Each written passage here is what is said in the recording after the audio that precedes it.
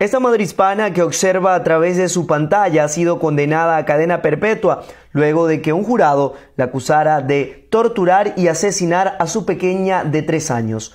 Hola, ¿qué tal? Yo soy Carlos Moreno y de esta manera iniciamos.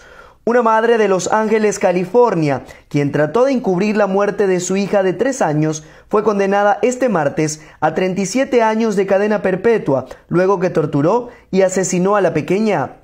Un jurado encontró a Mayra Alejandra Chávez, de 27 años, culpable de asesinato en segundo grado, por torturar y asaltar a su pequeña Kimberly López en junio del 2015. Las autoridades dicen que Chávez y el padre de la víctima, Omar López, se deshicieron de los restos de la niña en México. Su cuerpo nunca fue recuperado. López, de 34 años, quien también fue acusado originalmente de asesinato en segundo grado, llegó a un acuerdo con los fiscales y en su lugar se declaró culpable de peligro infantil, perjurio y testificó en contra de Chávez. Él dijo al jurado que Kimberly murió después de que su cabeza fue golpeada en el piso mientras su madre le cambiaba un pañal sucio. La niña comenzó a tener convulsiones y murió a la medianoche.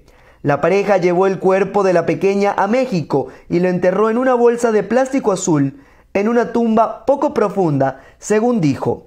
Después de regresar a Los Ángeles en California, los dos temieron que se encontrara el cuerpo de la pequeña, por lo que el 25 de julio de 2015 fueron a Tijuana y exhumaron los restos para tratar de destruir cualquier evidencia del caso, dijo John Barry, el fiscal principal de distrito en el condado de Ventura. Así que la pareja decidió romper los huesos con alicates e intentaron disolver lo que quedaba de su cuerpo, metiendo los restos en una cubeta con cloro y agua.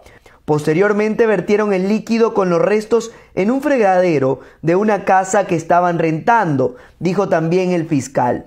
Literalmente tiraron a su hija por el desagüe, dijo Barrick quien agregó además que la pareja dispersó los huesos de la niña en varias carreteras mexicanas antes de regresar a los Estados Unidos. Los padres de la pequeña habían mantenido en secreto el asesinato de Kimberly por varios meses, asegurando que ella se había quedado en tierra azteca junto a familiares. Sin embargo, posteriormente se descubrió que todo se trataba de una mentira.